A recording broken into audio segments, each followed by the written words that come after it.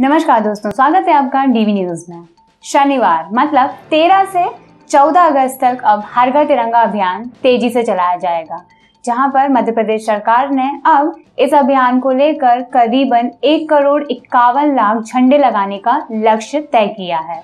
इस अभियान को लेकर आम लोग काफ़ी ज़्यादा उत्सुक नज़र आ रहे हैं और इस अभियान को लेकर आम लोगों का काफ़ी अच्छा रिस्पॉन्स भी मिल रहा है।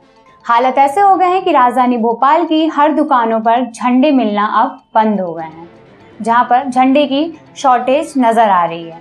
मीडियम साइज़ झंडे अब मार्केट में नहीं मिल रहे हैं। दुकानदार का कहना है कि झंडे की इतनी डिमांड पहली बार हो रही है, जहाँ पर अब पूरे मार्केट में झंडे खत्म होते नज़र आ रहे हैं। खादी भंडार में भी झंडे का स्टॉक खत्म हो गया है, जबकि खादी भंडार वाले ने कई बार स्टॉक मंगा लिया है, लेकिन अब सप्लायर ने भी झंडे सप्लाई करने से मना कर दिया है।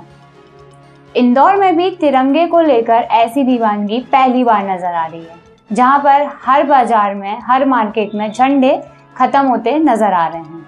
इसी तरह ग्वालियर के मार्केट में भी झंडे खत्म होने की शिकायत आ रही है।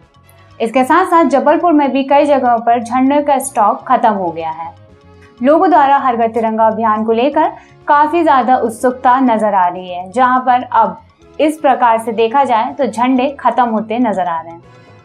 हर घर तिरंगा अभियान के तहत काफ़ी लोगों ने हर घर, शासकीय, अशासकीय महाविद्यालय, हर जगह पर झंडे लगाना शुरू कर दिया है और कई जगह झंडे लगे हुए नज़र आ रहे हैं।